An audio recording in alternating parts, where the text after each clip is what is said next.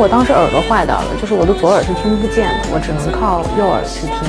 二零一九年，张碧晨因怀孕暂时隐退。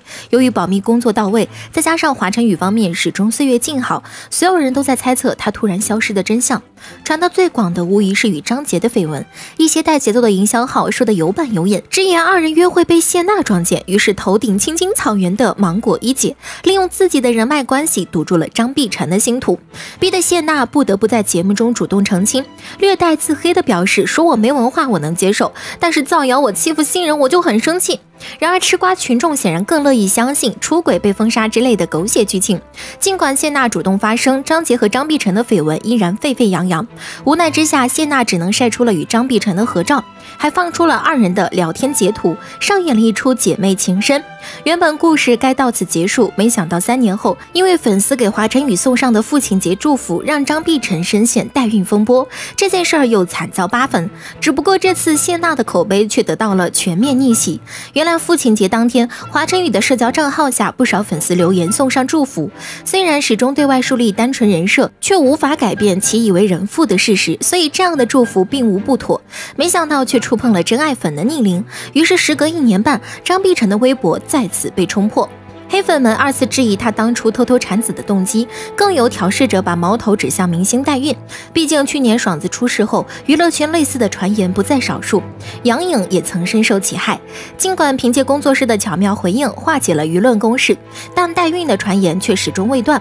这次轮到张碧晨，黑粉为了一锤定音，个个化身福尔摩斯，不仅找出了张碧晨产女前的身材对比图，连美国医院的产子规定都详细列出。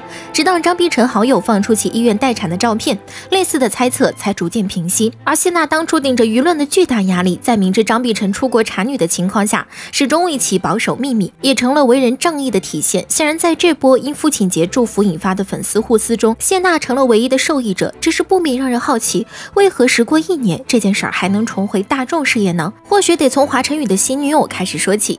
碧晨就是一个好哥们儿，讲义气啊什么的。讲义气的张碧晨为何比不过名不见经传的十八线女演员王月乙？王月乙第一次拥有较高的曝光度是在《侍神令》中饰演蝴蝶金八彩。别看她番位不及周迅、沈月、王丽坤，但人设讨喜程度和妆容惊艳程度，也就女主周迅能稳压一头。一时间，不少人好奇这位初出茅庐的九五后小花究竟有何背景。正式出道前，王月莹只是为拍摄情侣档 vlog 的小网红，有个文青气质的颓废男友，网名大概是景月，郎才女貌的情侣日常吸引了不少粉丝关注。很快，二人就在情侣滤镜的加持下涨粉百万，在网红圈小有名气。不过，随着名气的增长，王月影的不当言论被扒出，甚至还有一些涉及立场的极端发言。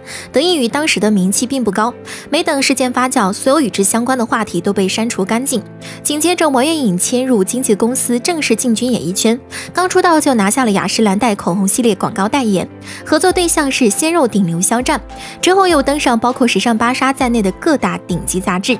杨幂努力了近十年才办到的事情，出道一年的王源颖就轻松拿捏。二零一八年靠《侍神令》站稳脚跟后，她做的第一件事儿是与景月分手。二人分手的话题还登上热搜，引发不少关注。粉丝遗憾的同时，王源颖的演艺事业却迎来了蓬勃发展。一年四部影视剧合作的不仅有张颂文这样的实力担当，还有任嘉伦、白鹿等顶流代表。连正午阳光都向其伸出橄榄枝，在乔家的儿女中安排了大方热情的杨林子，这样的资源配置可谓逆天。不过娱乐圈从不缺出道即巅峰的典型，更何况王月颖的颜值虽略带中性美，在人均微调的演艺圈也算不得顶尖，最终也没能摆脱高开低走的规律。直到二零二二年与华晨宇的恋情曝光，他才迎来了第二波大范围曝光。令人疑惑的是，同样是和华晨宇谈恋爱，王月颖享受到的待遇明显比张碧晨好上太多。张碧晨买醉十次也挽回不了华晨宇的决绝。二零二二年三月，华晨宇和王源以的恋情首次曝光。令人意外的是，作为华语乐坛公认的天之骄子，又顶着与张碧晨未婚生子的黑历史，华晨宇却收获了满满的祝福。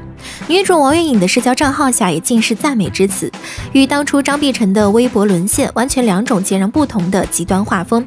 而在华晨宇新恋情曝光当天，张碧晨就被拍到深夜买醉，在男性友人的搀扶下，跌跌撞撞地消失在了夜色中。尽管之后他现身辟谣，坦言当晚只是好友聚会，身旁的男性友人是自家亲戚，但两件事如此巧妙地撞在一起，这样的理由似乎并不能令人信服。无独有偶，六月二十日，华晨宇和王月颖的私会画面再被曝光，张碧晨代孕的话题就冲上热搜。看上去毫不相关的两件事儿，却因为张碧晨好友的仗义直言变得更加微妙。因为随着张碧晨产后照片的曝光，舆论一边倒的支持张碧晨，同时斥责华晨宇不负责任。虽说二人关系早已明朗，但身为孩子的父亲，面对铺天盖地的代孕传言，按理说出于对孩子的负责，也该主动出面回应，但他却自始至终未曾表态，倒是粉丝们忙得焦头烂额，一边要将代孕传言甩锅黑粉，一边又要替自家爱豆辩解。连华晨宇曾送给张碧晨两亿豪宅当做分手馈赠都被扒了出来，传言的真实性不得而知，但粉丝的护主心切却令人动容。要问华晨宇粉丝为何总对张碧晨充满恶意，或许从张碧晨把他宠成巨婴的那一刻，这种落差就已经注定。二人最初交集是在二零一五年的一档综艺节目，节目中张碧晨对华晨宇的关怀无微不至，捏肩倒水，还要忍受对方偶尔的撒娇。烫吗？瑶瑶？烫的。废话，呃，那这个喝的会难受的。不会难受，喝完了会舒服的。会，我得了一种不能喝水的病。